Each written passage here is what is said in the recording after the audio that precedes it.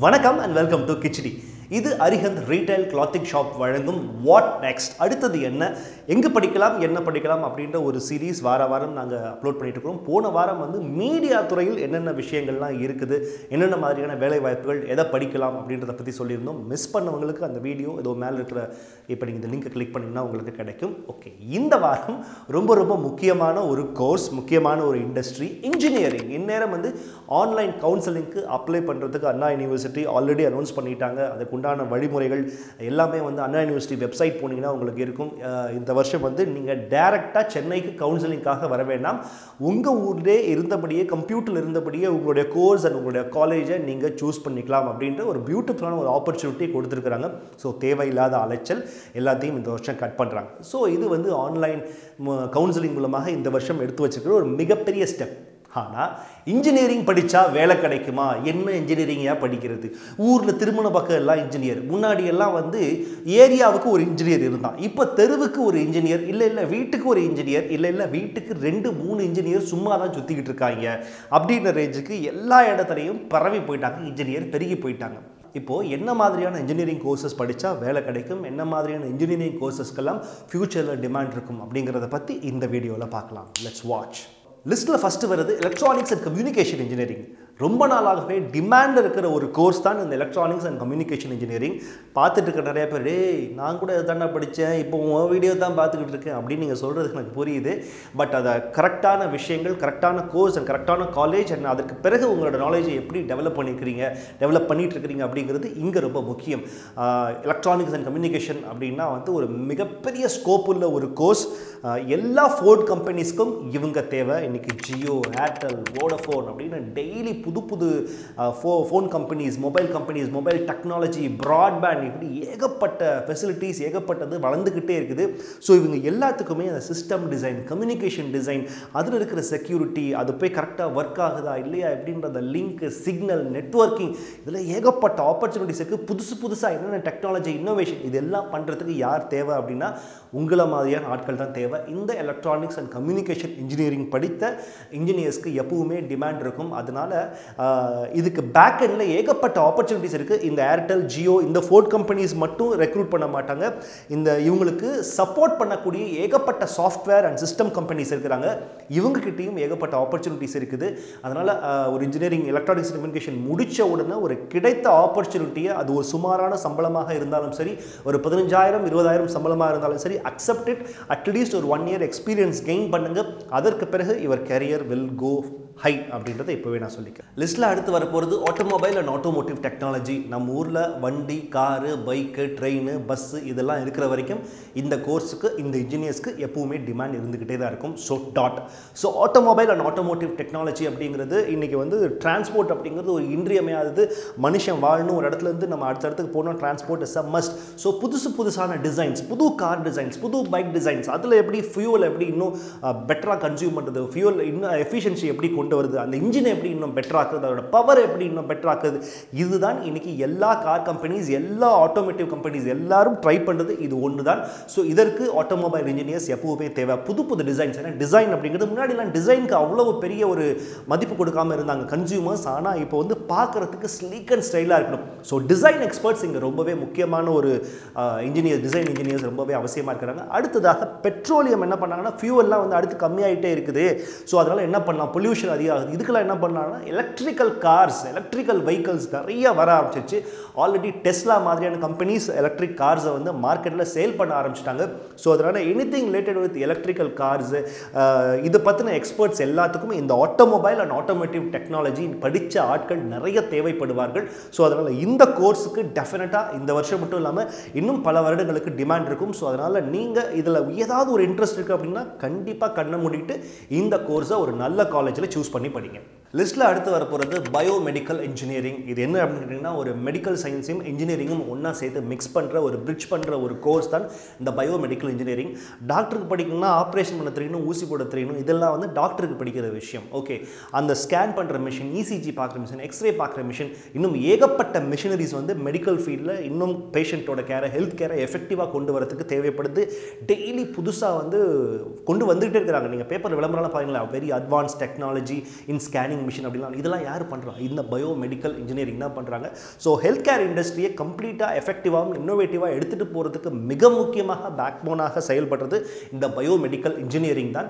So இதுக்கு ஒரு மிகப்பெரிய டிமாண்ட் இருக்குது இப்போ இது ரீசெண்டாக தான் கடந்த சில வருடங்களாக தான் இதுக்கு வந்து பெரிய டிமாண்ட் இருக்குது. ஸோ நீங்கள் டாக்டர் ஆகணும் அப்படின்னு ஒரு கனவில் நீங்கள் முடியாமல் போனாலும் அந்த ஃபீல்டில் இருக்கிறதுக்குண்டான ஒரு மிகப்பெரிய வாய்ப்பை இந்த பயோ மெடிக்கல் இன்ஜினியரிங் கொடுக்குது. ஸோ ட்ரை பண்ணுங்கள் டெஃபினட்டாக அடுத்த சில வருடங்களில் ஒரு மிகப்பெரிய எக்ஸ்ப்ளோஷன் இருக்கும் இந்த ஃபீல்டில் நல்ல காலேஜ் முக்கியமாக மிக முக்கியமாக நல்ல காலேஜஸில் போய் இந்த கோர்ஸ் சேர்ந்தீங்கன்னா யூல் கோ ஹை லிஸ்ட்டில் அடுத்து நம்ம பார்க்க போகிறது சாஃப்ட்வேர் இன்றைக்கி கம்ப்யூட்டர் அப்படின்னு எடுத்தாலே அது ரன் ஆகிறது ஒரு சாஃப்ட்வேரால் தான் இந்த சாஃப்ட்வேர் சொல்லிக் கொடுக்குறது BTech information technology computer science engineering computer science technology அப்படின்னு ஒவ்வொரு காலேஜும் விதவிதமாக கோர்சஸ் வந்து கொடுத்துக்கிட்டே தான் இருக்கிறாங்க. பட் நிறைய பேர் படிச்சுட்டு வேலை இல்லாமல் இருக்கிறாங்க. சரியான ஆப்பர்ச்சுனிட்டிஸ் கிடைக்காம இருக்குது அப்படின்றதுக்கு மிக முக்கியமான காரணம் தாங்கள் படித்த கோர்ஸை அவங்க அப்டேட் பண்ணாமல் இருக்கிறது தான் மிக முக்கியமான காரணம். இன்ஃபேக்ட் ஒர்க் பண்ணுற நிறைய பேர் அவங்களோட ஒர்க்கிங் என்வரான்மெண்ட்லேயே அப்டேட் ஆகாமல் இருக்கிறதுனால தான் அவங்களுக்கு நிறைய பேருக்கு வந்து வேலையும் போகுது அப்படிங்கிற ஒரு ரிப்போர்ட்டும் சொல்கிறாங்க ஓகே.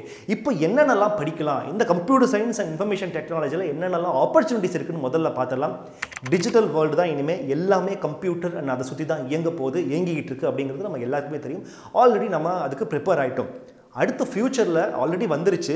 எதெல்லாம் முக்கியமான ஒரு ஏரியாவை இருக்க போகுதுன்னு பார்த்தீங்கன்னா artificial intelligence machine learning application development அப்புறம் வந்து cloud data virtual reality augmented reality data science data mining இந்த மாதிரியான கன்ஃபியூசிங்காக ரொம்ப பெரிய பெரிய வேலைகள் தான் அடுத்த ஃப்யூச்சரில் டிமாண்ட் இருக்க போது இன்ஃபேக்ட் இப்போ நான் சொன்ன இந்த எல்லா வேலைகளுக்கும் அடுத்த ஐந்து வருடங்களில் மிகப்பெரிய டிமாண்ட் மிகப்பெரிய சம்பளங்கள் இந்த வேலைக்கு தான் இருக்க போகுது அப்படின்னு எல்லா ரிப்போர்ட்ஸுமே சொல்லுது. So artificial intelligence machine learning algorithm application development இது வந்து முக்கியமான ஒரு விஷயம். அதனால் நீங்கள் பிடெக் அந்த uh, கம்ப்யூட்டர் சயின்ஸ் எங்கே படித்தாலும் சரி இதுக்கு சம்மந்தப்பட்ட சாஃப்ட்வேர்ஸ் அண்ட் டூல்ஸை நீங்கள் கண்டிப்பாக கற்று வச்சுக்கிட்டிங்கன்னா உங்களுக்கு ஸ்டார்டிங் சேலரியாக பார்த்தீங்கன்னா ஒரு டுவெண்ட்டி ஃபைவ்லேருந்து ஃபிஃப்டி கே வரைக்கும் இருக்கும் அப்படின்னு மார்க்கெட் ப்ரெடிக்ட் பண்ணுறாங்க அதற்கு பிறகு ஸ்கை இஸ் த லிமிட் ஈஸியார்லேயே மூணு வீடு வாங்கலாம்னா பார்த்துங்க அதுவும் இஎம்ஐயே இல்லாமல் அந்த அளவுக்கு ஃபென்டாஸ்டிக்கான ஆப்பர்ச்சுனிட்டிஸ் இந்த கம்ப்யூட்டர் சயின்ஸ் அண்ட் டெக்னாலஜியில் இருக்குது. ஆனால் இந்த விஷயங்களை நீங்கள் கற்றுக்கிட்டிங்கன்னா கன்ஃபார்மாக சியூர் ஷாட்டாக சிக்ஸர் தான். லிஸ்ட்டில் அடுத்து நான் பார்க்க போகிறது பெட்ரோலியம் இன்ஜினியரிங் மக்கள் தொகை வளர வளர எனர்ஜி ரிசோர்ஸஸ்க்கு உண்டான தேவையும் அதிகமாகிட்டே போய்கிட்டே தான் இருக்குது. அதுக்கு மிக முக்கியமான ஒரு எனர்ஜி ரிசோர்ஸ் ஃபியூவல் பெட்ரோல் அப்படின்னு நம்ம எல்லாரும் சொல்லக்கூடிய விஷயம்தான். இது சம்மந்தப்பட்ட படிப்பு தான் இந்த பெட்ரோலியம் டெக்னாலஜி அது பெட்ரோலியம் இன்ஜினியரிங் அப்படின்னு சொல்லலாம். இது படித்தா எங்கெங்கெல்லாம் வேலை கிடைக்கும் அப்படின்னு கேட்டிங்கன்னா பெட்ரோலியம் ரிஃபைனரி இண்டஸ்ட்ரீஸ் மிகப்பெரிய எண்ணெய் சுத்திகரிப்பு நிறுவனங்களில் வேலை கிடைக்கும். அது மட்டும் இல்லாமல் இந்த சவுதி அரேபியன் கண்ட்ரீஸ் இந்த ஆயில் ரிச் ஆயில் கண்ட்ரீஸான இந்த மஸ்கட் ஓமன் துபாய் இங்கே எல்லாத்துலேயும் பார்த்தீங்கன்னா எங்கெங்கெல்லாம் பெட்ரோல் இருக்குது அப்படின்னு டெய்லி போய் தேடிக்கிட்டே இருக்காங்க. நேச்சுரல் ரிசோர்ஸ் இயற்கை வளம் இங்கெல்லாம் இருக்கா அப்படின்னு சொல்லிட்டு போய் தேடுறதுக்கு தேவை யார்? தேடுறதுக்குள்ள நாலேஜ் யாருக்கு இருக்குன்னா இந்த பெட்ரோலியம் இன்ஜினியரிங் படித்தவங்களுக்கு தான் அந்தந்த இடங்களுக்கு போய் இங்கே இருக்கும். இங்கே நீங்கள் டிக் பண்ணீங்க இங்கே நீங்கள் போர் பண்ணிங்கன்னா கண்டிப்பாக பெட்ரோல் கிடைக்கும் அப்படின்னு அந்த கம்பெனிஸ்க்கு சஜஸ்ட் பண்ணுவாங்க. அந்த கம்பெனிஸும் இவங்களை நம்பி தான் பல்லாயிரம் கோடி பணத்தை அதில் இன்வெஸ்ட் பண்ணி அந்த இடத்துலேருந்து பெட்ரோல் எடுப்பாங்க. அதுக்கு பிறகு எக்ஸ்போர்ட் பண்ணுவாங்க. இப்படிப்பட்ட பல்லாயிரம் கோடிகள் பொருள்ற ஒரு பிஸ்னஸில் தான் இவங்களுக்கு வேலை இருக்கும். ரொம்ப கஷ்டமான வேலை தான். ரொம்ப கஷ்டமான லாங் டைம் இருக்கும். அவ்வளோ ஈஸியாக ஒரு ஏசி ரூமில் உட்காந்துட்டு பண்ணுற ஒரு வேலையாக இருக்காது. ஆனாலும் ஃபினான்ஷியலாக மிகப்பெரிய அளவுக்கு ஏர்ன் பண்ணக்கூடிய ஒரு கெப்பாசிட்டி ஒரு ஆப்பர்ச்சுனிட்டி இந்த பெட்ரோலியம் டெக்னாலஜி இன்ஜினியரிங் படித்தா இருக்கு. இருக்குது அப்படிங்கிறது எல்லாருமே சொல்லியிருக்கிறாங்க. அடுத்து இன்னும் ஒரு எழுபது எண்பது வருஷத்துக்கு இந்த பெட்ரோலியம் நேச்சுரல் ரிசோர்ஸஸ்க்கு ஒரு மிகப்பெரிய டிமாண்ட் இருக்கும். நிறைய வளரும் கண்ட்ரிஸ் வந்துக்கிட்டே இருக்குது. எல்லாத்துக்குமே தேவை எனர்ஜி ஸோ அதனால் பெட்ரோலியம் டெக்னாலஜி இந்த பெட்ரோலியம் இன்ஜினியரிங்கை கரெக்டான காலேஜில் இன்ஃபேக்ட் எனக்கு தெரிஞ்ச ஒரு டாப் டென் காலேஜஸ் எதுன்னு மட்டும் பாருங்கள் அந்த காலேஜில் மட்டும் எப்படியாவது இந்த கோர்ஸை சேர்ந்து படிச்சிங்கன்னா இப்போ நான் சொன்ன இந்த இன்ஜினியரிங் கோர்சஸ் எல்லாமே இன்ஜினியரிங் மேலே ஒரு மிகப்பெரிய ஆர்வம் இருக்கிறவங்களுக்கும் கோர் இன்ஜினியரிங்கில் போகணும்னு நினைக்கிறவங்களுக்கும் மட்டும்தான். அது இல்லாமல் அப்பா சொன்னார் ஆட்டுக்குட்டி சொன்னார் மாமா சொன்னார் மச்சா சொன்னார் இன்ஜினியரிங் படித்தா ரெண்டு லட்சம் சம்பளம் கிடைக்கும் ஒரு லட்சம் சம்பளம் கிடைக்கும் வேலை கிடைக்கும் அப்படின்னு வேற யாராவது சொல்லி இன்ஜினியரிங்கில் தள்ளிவிடப்பட்டால் அதுக்கு நான் பொறுப்பு இல்லை. அந்த மாதிரியான ஒரு முடிவை பேரண்ட்ஸ் தயவு செஞ்சு நீங்களும் உங்கள் பிள்ளைங்க மேலே வந்து ப்ரெஷர் பண்ணாதீங்க.